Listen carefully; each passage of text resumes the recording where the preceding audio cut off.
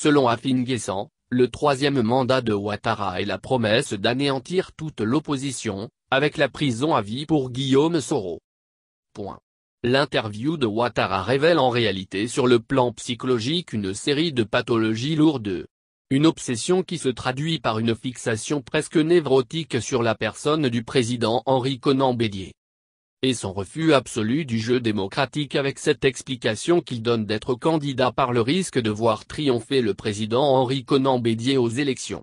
Il avoue que sa candidature s'explique par la haine, mais la Côte d'Ivoire n'a pas besoin de haine pour avancer. En démocratie, c'est le peuple qui tranche. Mais cela Alassane Ouattara ne peut le comprendre car il a instauré une dictature. Le troisième mandat c'est la promesse d'anéantir toute l'opposition, c'est l'assurance de la prison à vie pour Guillaume Soro, c'est ce chantage à Laurent Gbagbo. Notre pays est en danger. Ouattara attise la haine et joue une ethnie contre une autre, insensible aux nombreux morts que nous pleurons chaque jour, et au risque de déclencher une guerre civile. Dabou est devenu le symbole de la barbarie du régime. L'annonce de la fermeture de plus d'un bureau de vote sur deux et la reconnaissance spectaculaire de la force de la mobilisation contre le troisième mandat.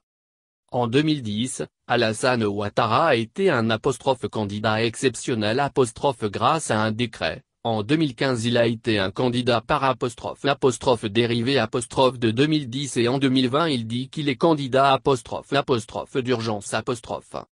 Ouattara déshonore la fonction de président de la République et notre pays.